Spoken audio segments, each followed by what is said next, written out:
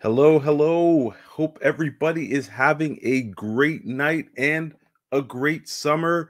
Welcome to What's New at Heroes World. I'm your host, Andre Greenidge, co owner of Heroes World Comic Shop of the New Millennium. And today is Tuesday. And if you know what that means, that is one day before our big Wednesday new release. So, what's new at Heroes World? What is this show all about? It is about some of the cool new products that come into our store. Now, Wednesday is new comic book day, so that's the busiest day, and that is when the bulk of our new releases come out. So, I have chosen Tuesday evenings to bring you a sample of some of the cool stuff that is coming in to the shop. Also, I'll be adding in anything that came in for the latter half of the week because sometimes we'll get shipments arriving on Thursdays and Fridays. So, if you want to get all the news on what's hot, what's new, what's exciting, and also what's coming back in, make sure you tune in every Tuesday and follow here. That's right, Heroes World Online. That is going to connect you with all our social stuff. It's going to get you to our Instagram, our Facebook, our YouTube, and now our Twitch. So if you want to reach us, any of those social channels, plus the good old fashioned phone at the store, as well as our email. So, without further ado, let's talk about Andre's favorite things, and that's comic books. That's right, comics are my first love, my first passion, what drove me to get into the store. And I'm going to give you a selection of just some of the titles that are coming out. These are the ones that I think you will be interested in. But if I don't talk about a series that you're collecting, never fear. We probably have it at the store, and I just can't cover everything. So, without further ado, let's talk about the Symbiote Spider Man. This is the new series called Crossroads, and it is brought to us by Greg Land and Peter David. Stellar team. They have been doing this series of books, and they do them as a series of limited series, okay? And as the title tells you, it's all about Spider Man when he still had the symbiote.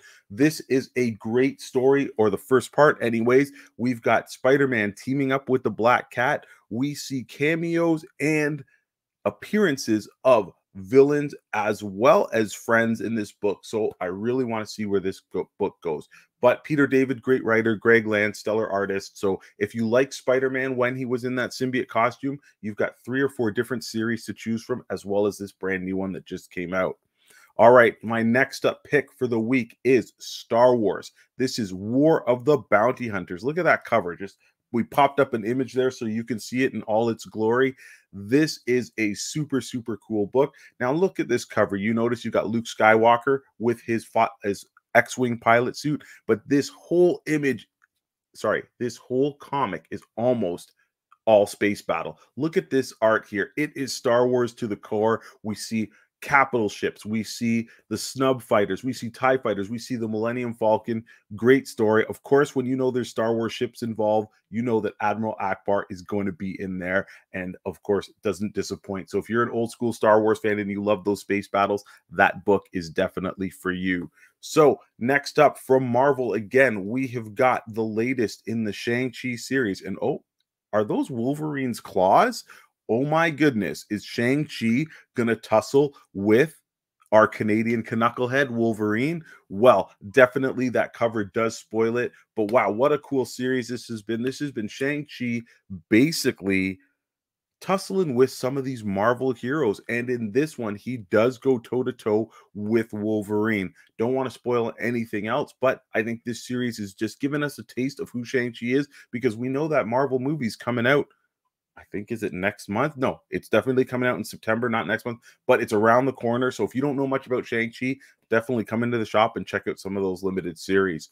All right, another book that has been smoking hot all summer long has been The Berserker. That's right. This is Keanu Reeves' own book. This is a foil cover. That's why I didn't show up too much.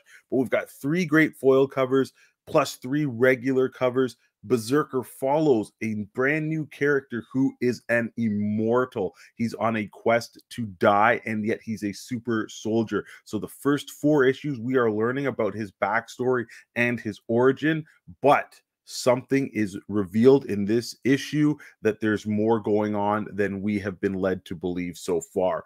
Great series so far. Keanu Reeves is one of the co creators, and you probably have heard it is going to be a Netflix series. So why not get the jump on finding about what that book is all about? All right, check out this one. This is one of Andre's highly recommended books. This is Daredevil, number 32. Oh, and why does Daredevil look like Elektra on that cover? Well, Matt Murdock is in jail. Elektra has picked up the reins of Daredevil as she tries to track down the murderous bullseye. And of course, in order to don the costume, she cannot kill. So she has two new blunt sais. And Spider Man is even in this comic saying, Hey, what are your plans when you catch this bullseye guy? What are you going to do? Great series written by fellow Canadian and local boy Chip Zdarsky. This book has been on fire. Definitely want to pick up this arc with Elektra and Daredevil in jail. But if you want to catch the whole series, we have it available in softcover and hardcover at the store as well. Super, super cool book. I think you will really enjoy it. All right, next up, we have got Batman Secret Files The Huntress. Now, you've probably heard me gush, gush, gush about the new Detective Comics series. This book actually spins right out of it. Remember that last story arc where the Huntress got possessed by this parasitic organism and she went after Batman, as we see in this? This is what happens to her after that. She's been rid of the parasite, but there's still something nagging in the back of her brain, making her see things, making her do things. And she's trying to put a stop to that.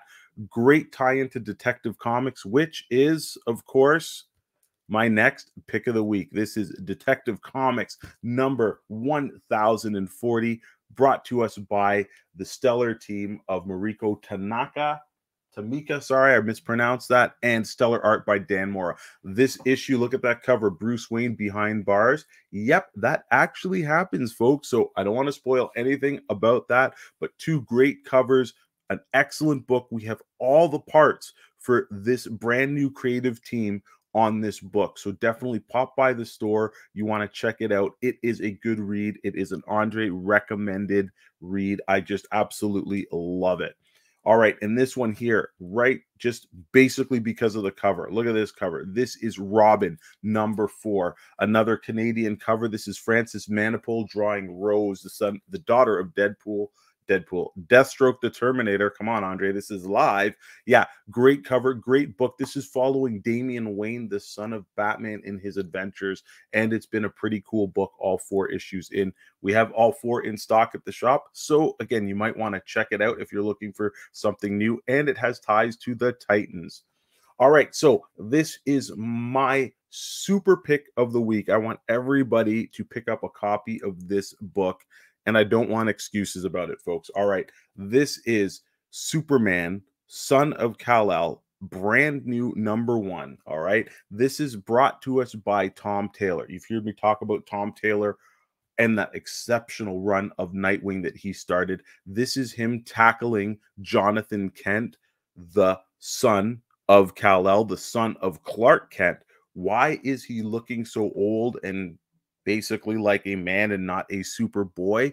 Well, in the Bendis run of Superman, he got shunted to the future to live with his biological grandfather and returned as the boy you see on the screen.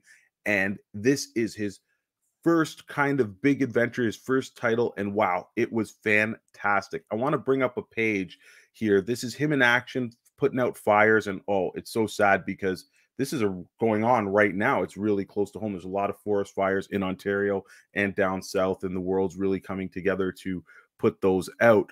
But in this, there's Tom Taylor uses characters so well. Superman is out in space while Lois is pregnant, and the rest of the league is just like, come back, Clark. We got this. And look at this great moment here. This is Superman at this, uh, you know, the Fortress of Solitude. He's basically protecting. It. He's like, nobody's getting in. Go in there, Clark you know, do what you have to do. This is where you belong.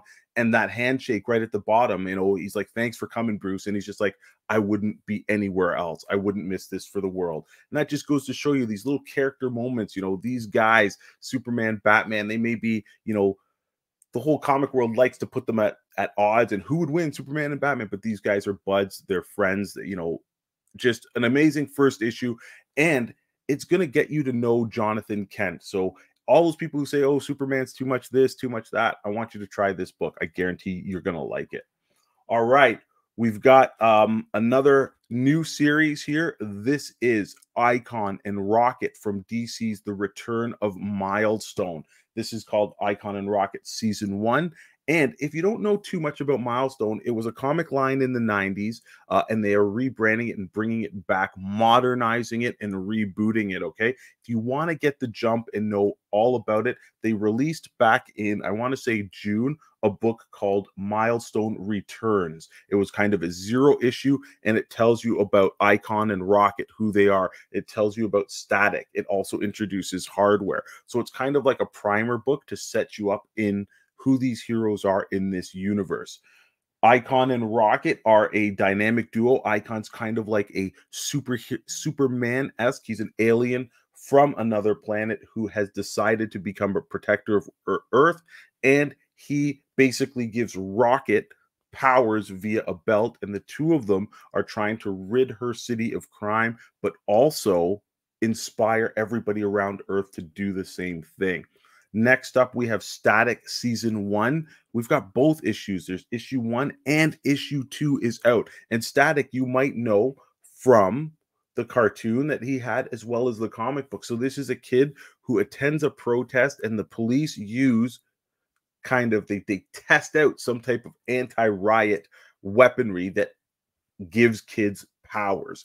Okay. And now it's what do we do with these kids that we've created with power. Some of them are rich, some of them are poor. A lot of them are not getting the help that they need.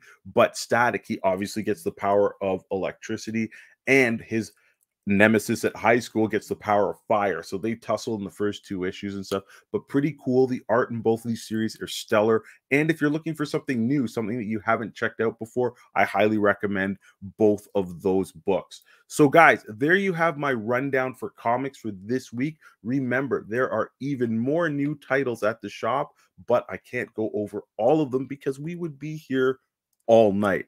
Now, that is okay for some people, but I've got to open the store tomorrow to make sure everybody can get their goods. And speaking of goods, every day except for Monday, we are getting restocks as we build back up our collection of trade paperbacks and omnibuses and all kinds of comic book book goodness.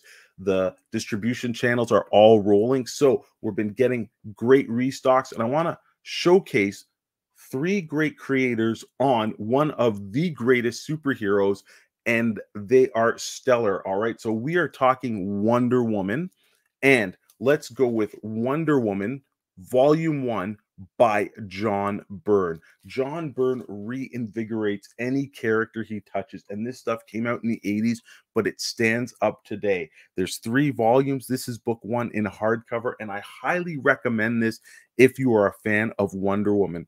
Of course, you're going to notice that there's some 80s stuff, some 80s hairstyles and all that, but these books are fantastic. If you're a fan of Wonder Woman, or if you've liked the Wonder Woman movie or uh, any of the recent stuff for Thor in the cartoon, you need to check out these because this is where they have brought out some of those characteristics and traits that make the modern Wonder Woman. Next up, another classic, and I think this guy's probably had the biggest impact on Wonder Woman. It's Wonder Woman by George Perez. You've heard the name. Uh, George Perez, again, this guy is, he's just a juggernaut. We've got all three volumes of this series. And again, it's really, really great. It's classic stuff, it's original stuff, just fantastic. And last but certainly not least, we've got all three volumes of Wonder Woman by Greg Rucka. Uh, Rucka also wrote some of uh, Wonder Woman in the New 52 as well as the Rebirth. So he is a stellar writer for this character. The Amazon Princess has never been better than she has been with these three people at the helm of writing and creating her. So lots to choose from at the store. These are my focus. Uh, so hopefully you guys have seen something that you might not have known we had before or something that you know catches you and says hey i got to check that out next time we're in the store now speaking of checking out things i have been on a real samurai kick uh, lately uh, john my partner at the store for christmas gave me three blu-rays of the Kenshin series, and these were the live action. Uh, and I just recently watched them, so I've been all about samurai stuff. So I brought in some really cool stuff for the shop. First up, let's talk about Blade of the Immortal.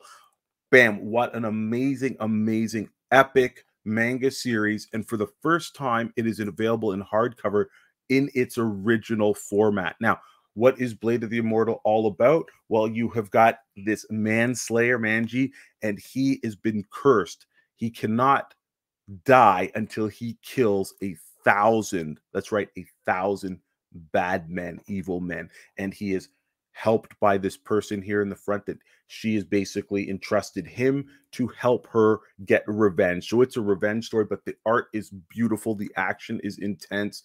Uh, so far, there's two volumes out. There's going to be another third volume on the way in the next couple months. But if you like manga, if you like samurai stuff, definitely want to check that series out. It is stellar. Black and white art, just amazing, amazing stuff. Kinetic energy, like I love it. Can't say enough about that series, so definitely check it out. Also, big video game player here, and I love this series or the game. It's not a series yet, but I hope they do more. Ghost of Tsushima, and we brought in the art book for that. Dark Horse Comics did an amazing, amazing job with this art book. It is fabulous. Um, just look at that. That's the the bindings almost look like bamboo. The art inside is stellar. Um, yeah, I just love it. And they are going to be doing a upgrade to the PS5. So if you guys have got a PS5 out there or you haven't played this game, I highly recommend it. Uh, yeah, great story. The art's fantastic. If you're not even into the games, but you just like really good art, this is an art book just for you. So speaking of good quality books and from Dark Horse, actually Blade of the Immortals from Dark Horse, Ghost Tsushima's from Dark Horse. Let's talk about the Hellboy library editions. These editions came out, I think, a couple years ago, but now we're able to bring back all six of them in stock. So Hellboy is the creation of Mike Mignola. And look at that. We've got all six of them, thick hardcovers, beautifully bound, larger than life, heavy books. And it is each volume, there's six plus Hellboy in Hell for a total of seven. Amazing stuff. If you've never read Hellboy, you definitely got to check it out. This first volume gives us Seed of Destruction as well as Wake the Devil. Great great series uh can't say enough. Like if you like mignola or you saw the movies and you're just any bit interested in the character definitely read the book. It's so much better in my opinion than the movies. Not that the movies were bad but you just get more and uh, this version is definitely worth it looks great on your shelf and it'll inspire you to collect the other ones so totally totally yeah they are just beautiful books. The art is fantastic. The storylines are great. Mignola is a master of shadow and composition and storytelling. You know, Hellboy is a great, great story. So, lots of books that I've talked about so far. So, let's switch gears here. Um, as you guys may know or may not know, we celebrated a milestone anniversary. Uh, this July, we turned 20 years old. That's why you see a lot of the branding of 20 and 21. And this past Sunday, a couple days ago, my good friend Ken Lashley came to the store to celebrate with us. So we had an in-store event. He was signing, he was sketching, he was entertaining, and it was a great day. We had cake from one of our customers. Uh, so it was just a fantastic day. And because a lot of people couldn't make it, Ken left some excellent, excellent prints with us to sell. So we have a limited quantity of these prints. Okay, so this is just a mock-up image. There's five different prints. That first one you see is Wolverine versus Omega Red, and that's the image that Ken did for us last year during the pandemic to help us raise money. The next is Spider-Man. That's his cover from Nonstop Spider-Man number one. We've got War of the Bounty Hunters and Boba Fett. We've got his Spawn cover when he drew a couple issues of Spawn as well. And the last one is Wolverine versus Sabretooth. So we've got some of these. We've got, I think, three full sets of five of those prints. They're available in the store, and we have a couple loose prints. But he also left us some of his War of the Bounty Hunter number one. He's left us some of these covers signed. I think we have about five of them signed by him. And we've also got sets of this cover as well as the version cover that does not have any logo on it. So those are available in the shop. Again, very, very limited quantities for those. So if you are interested in those, post up quickly and come and see us in the shop. Uh, I'm not too sure if we can do shipping on those just yet, but we will try our best to see if we can accommodate you. Yeah, they're beautiful prints. Uh, and in those sets that we have, one print randomly will be signed by Ken Lashley. So a very gracious, uh, yeah, very cool event that we had over the weekend. And uh, Ken's just the best. You know, everybody was super entertained and we all had a lot of fun. All right, so that's a look at the merchandise and stuff. I got one last thing that's super cool to share with you guys.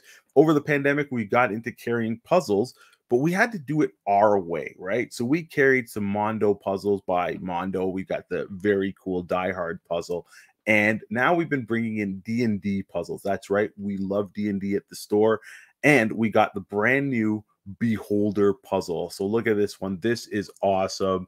Uh it's just super cool. The artwork's amazing. Good quality puzzle.